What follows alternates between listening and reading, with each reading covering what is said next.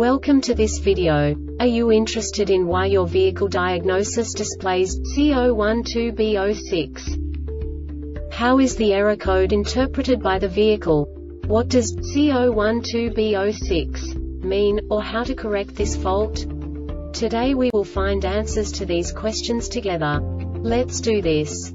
First, let's look at the history of diagnostic fault code composition according to the OBD2 protocol, which is unified for all automakers since 2000.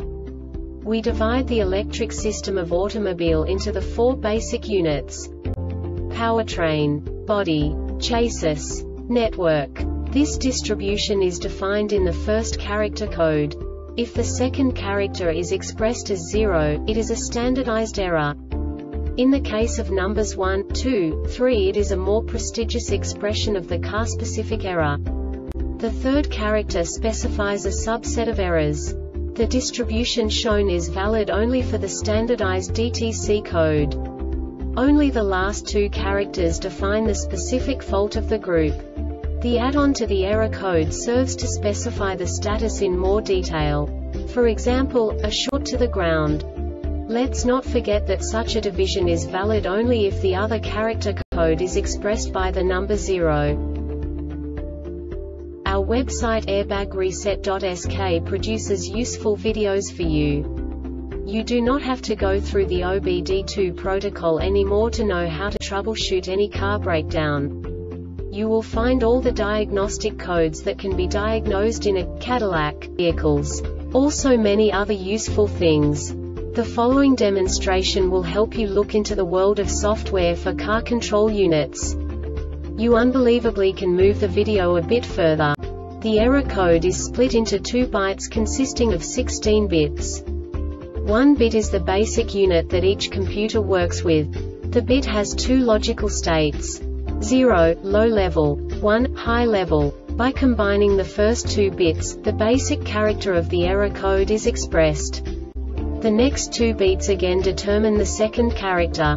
The last beat styles of the first byte define the third character of the code. The second byte is composed of a combination of 8 bits.